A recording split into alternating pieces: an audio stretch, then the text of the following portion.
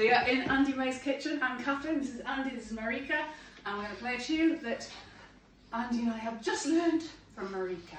Yes, we have the Kadril van Aalst. Yeah.